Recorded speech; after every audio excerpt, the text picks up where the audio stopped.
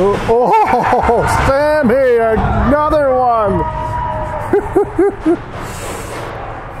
Way to go, Sam McCormick.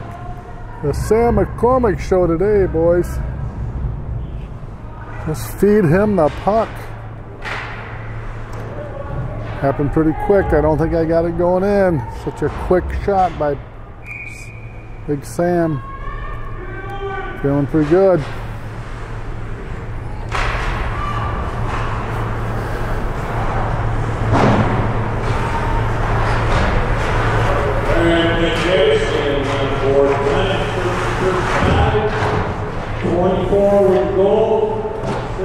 Twenty-nine.